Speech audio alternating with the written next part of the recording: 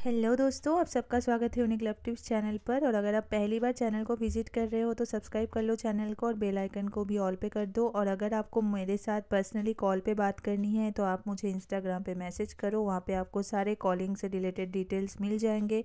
और ये एक पेड कॉल होगा और कॉलिंग के चार्जेस भी मैं वहाँ पर बता दूँगी। और इंस्टाग्राम का जो लिंक है, वो मैंने डिस्क्रिप्शन में दे के रखा है। दोस्तों, क्या आपके पार्टनर भी आपसे बातचीत करना बंद कर दिया है? क्या बहुत दिनों तक वो आपसे बात नहीं कर रहा है, आपको इग्नोर कर रहा है? आज मैं इसी के ऊपर डिस्कस करूँगी तो चलिए शुरू करते हैं वीडियो को। ऐसा जब सिचुएशन होता है, जब पार्टनर हमसे बात करना बिल्कुल ही बंद कर देता है या बंद कर देती है, उस टाइम हमको कौन से कौन से रूल्स को फॉलो करना होता है, उसी के बारे में आज हम डिस्कस करेंगे। तो सबसे पहली जो पॉइंट मैं यहाँ पे बोलूँगी कि ऐसा जब सिचुएशन होता है कि पार्टनर ने पूरा ही आपसे बात करना बंद कर दिया होता है, उस टाइम पे ना उसको थोड़ा स्पेस देना चाहिए, उसको टाइम दो। उसका थोड़ा वेट करो। लेकिन हम क्या करते हैं ना, हम टाइम देना तो दूर की बात है, हम उसके पीछे भागने लगते हैं। हम उसको कॉल्स करते हैं मैसेजेस करते हैं, उसमें हम फरियाद करते हैं कि तुम मुझे टाइम नहीं देते हो, तुम मुझसे बात नहीं करते हो, तुम पहले जैसे नहीं रहे, तुम अब चेंज हो गए हो, मुझे इग्नोर कर रहे हो। तो हम इतना कंप्लेन करने लगते ना कि वो जो इंसान है, वो बहुत इरिटेट होता है। क्योंकि उसको ये चीज़ ऑलरेडी पता होता है कि वो आपको इग्नोर कर रहा है या इग्नोर कर रही है। लेकिन किसी को भी ना अपने बारे में बुरा सुनना या बुरा कुछ भी अच्छा नहीं लगता मेरे दोस्त। ये सच बात है। ये आपके साथ भी लागू होता है, ये मेरे साथ भी लागू होता है, ये सब इंसान के साथ लागू होता है कि जब हम उसको कुछ बुरा कहते हैं ना, अगर वो कर भी रहा है, उस चीज़ को अगर आप मुँह पे ऐसे बोलोगे तो किसी को भी अच्छा नहीं लगेगा, है ना? तो वही बात होता है कि आप जब बोलते हो कि तुम मुझे कॉल नहीं करते हो मैसेज नहीं करते हो, ये नहीं करते हो, वो नहीं करते हो तो उसको लगता है कि अरे यार, कितना कंप्लेनिंग नेचर की है, कितना ज़्यादा इरीटेट करके रखा है या रखी है मुझे। तो उस टाइम पे वो आपको इग्नोर करता है धीरे धीरे करके वो आपसे बात करना बंद कर देता है, क्योंकि उसको यही लगता है कि क्या बात करूँगा या क्या बात करूँगी इससे। जैसे ही बात करूँगा, वैसे ही मुझे पका देगी या फिर मुझे उल्टा सीधा बोलने लगता है, झगड़ा करने लगता है तो अच्छा है कि बात ही ना करूँ।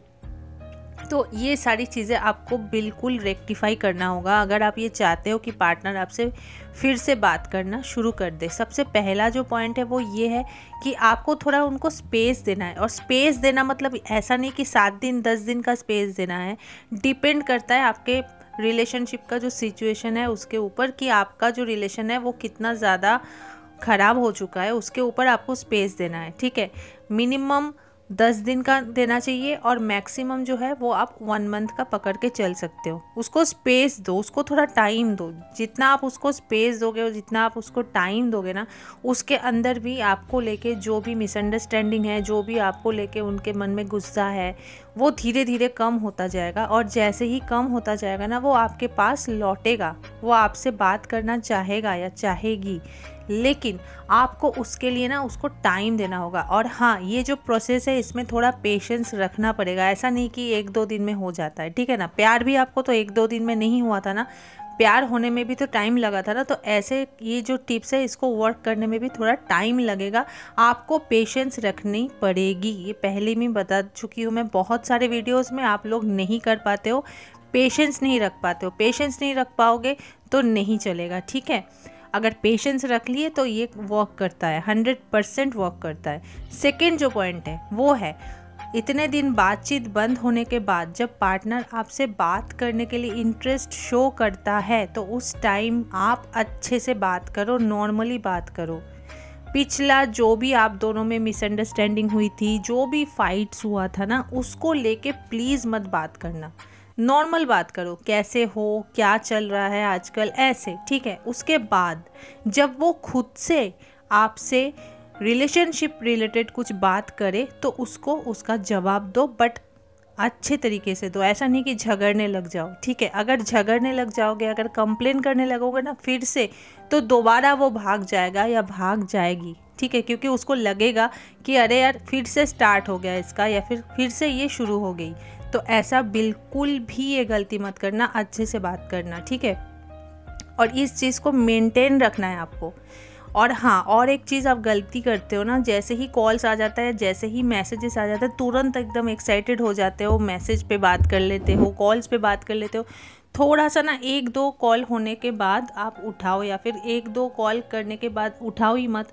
उसके बाद खुद से आप दस मिनट गैप ले लो या फिर आधा घंटा गैप ले लो, उसके बाद खुद से कॉल करो। तो उसको भी थोड़ा सा अच्छा लगेगा। ये सोच के कि आप कहीं बिज़ी थे, आपका भी कुछ काम है, आपका भी कुछ लाइफ है, लेकिन हम क्या करते, तुरंत करने लगते। तुरंत जैसे ही वो कुछ बोले तो हम तुरंत एकदम हाँ कर देते। तो ऐसा मत करो, ताकि उसको थोड़ा थोड़ा तड़प भी रहे आपके लिए, ठीक है ना?